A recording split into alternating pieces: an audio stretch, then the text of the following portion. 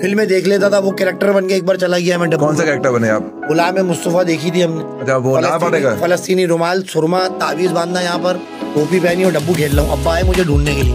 मैं दो घंटे से गायब। अब्बा देख रहे हैं दोस्त अब्बा को देख रहे हैं अब्बा दोस्तों को देख रहे हैं। मैं खेला मैं बैठा हुआ अब्बा पहचान ही नहीं रहे। क्योंकि फलस्तीनी रुमाल तावीज सुरमा और पिशावरी चप्पल।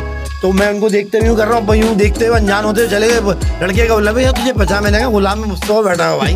उनका बैठा कहाँ बैठा? नाना पाटेकर बन गए आप।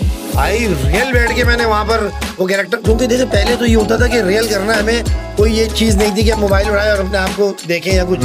हमें रियल परफॉर्मेंस करनी होती थी। हम्म। और वो भी इलाके के अंदर एक बार हमने वास्तव देखी तो अम्मी मेरा शलवार कमीज देख के डर गई इतने बड़े कॉलर मैंने सिलवाए और वो चौक यहाँ तक सिलवा ली। और अम्मी की जितनी सोने की चेनें थी ना वो सब पहन लिया पचास तोला पचास उन दिनों डकैती भी नहीं होती थी चोर भी नहीं थे कम। तो वो मोहल्ले पहन के घूम रहे पचास तोला पचास तोला। उसमें दो चार लोकल भी डाल ली और तेल लगा के बाल चुपकाने की कोशिश करी लेकिन हुए नहीं छोटे थे बाल। लेकिन फुल उसमें कैरेक्टर में आ तिलक लगाया? नहीं दिला वो तो फिर अब्बा घर से निकालते बोलते बेटा ये आपका कपड़े यहाँ बाहर चले यहाँ नहीं रहिएगा। वो तो फिर मसला खराब है। क्योंकि अब्बा का भी प्रेशर बहुत था भाई। पहले के जो बाप होते थे जब वो घर में घुसते थे तो हम बिस्तरों में घुसते थे भाई। कोई डिस्कशन नहीं। तुम बेकार हो फजूल हो नकारा हो।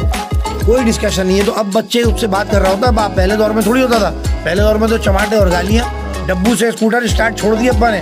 और कूदते हुए घर लिया है और लोगों ने कहा भाई अपनी स्कूटर तो ले आओ भाई माजिद भाई आपकी स्कूटर वहाँ खड़ी हुई फिर वो लेने गए। स्कूटर तो मतलब ऐसे खतरनाक बाप पहले जो पंजाबी फ़िल्में देख देख के खतरनाक हो जाते। मरकरी के बनियान होते थे भाई खतरनाक वाले और नहाने से पहले पीठ खुजवाते थे बोलते थे पीठ खुजा बच्चे सिर्फ़ पैदा इसलिए होते थे कि पीठ- खुजाने के बापों की पीठे खुजा रहे होते थे नाखूनों से कि भाई अब्बा जा रहे हैं नहाने के लिए कोई तौलिया रख रहा यहाँ खा लेते है थे। हाँ कोई तौलिया रख रहा है कोई टपले रख रहा है कोई अब्बा आ गई है वो यूँ कर लो ये वाली चीज़ आम खा रहे हैं तो अब्बा के साथ बैठ के। तो ये वाली चीज़ें थी अब्बा अपनी निगरानी के अंदर। दरवाज़ा खोल खोल के निलवाते थे भाई ऐसे खतरनाक बात दरवाज़ा खोल लब नहा। भाई भाई नहाने। नहीं नहीं अभी नहाओ तुम दरवाज़ा खोल के। अब ये वाले अटैच बाथरूम ने इन्होंने दफ़ा कर दिया। पहले एक बाथरूम होता था सहन में वो कोने के अंदर। गुसल खाना कहते थे उसे। गुसल खाना और लेटरीन। लैट्रीन हाँ। यार लेटरीन का नाम तो ऐसा है कि एक बार एक खाला ने बोला मैंने खाला तुमने मुझे अपना बचपन याद दिला दिया है। अब तो बाथरूम सुन सुन के अटैच बात है वॉशरूम है ये टुच्चे चल रहा है। भाई लेटरीन लेटरीन बोलो साठ वॉट का बल्ब पीले कलर का और मकड़ी के जाले कोने पे। हाँ। और वो चुपकली भी आ गई और वो चूटे।